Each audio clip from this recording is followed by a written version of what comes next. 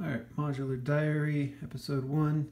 Uh, the idea here was to take a clock source, which I think is a 1 volt to 5 volt pulse, and use that as a modulation source, um, putting it to the 1 volt per octave input of an oscillator. And here, just to see what that would sound like, and here's what it sounded like.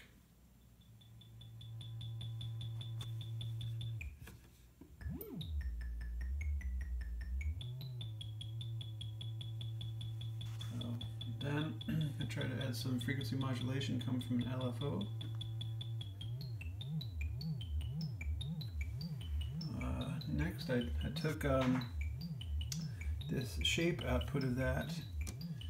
Um, well, wait a minute.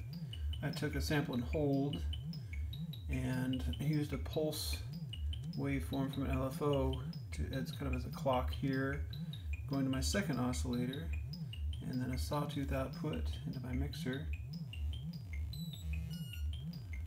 Then um, on that same LFO, there's a shape output, and I put that into the frequency control voltage uh, for the filter.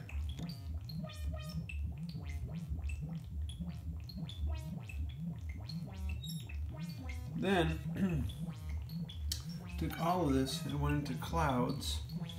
And let's see, what else did I do? I think I split up. I gotta retrace my steps here. Clock, LFO. Oh, that's confusing. Oh, okay. The uh, sample and hold is going. It's getting kind of split up. So the sample and hold voltage is also going to position uh, control voltage for this as well as the 1 volt per octave input.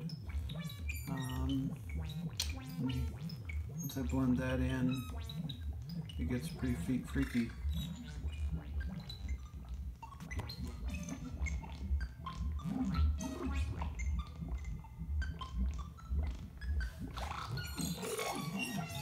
All kinds of interesting things go on with it.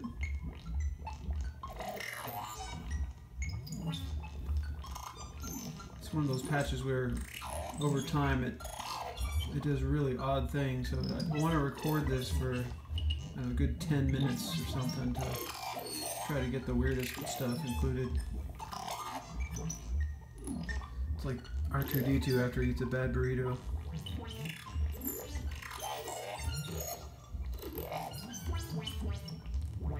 Alright, we'll see you.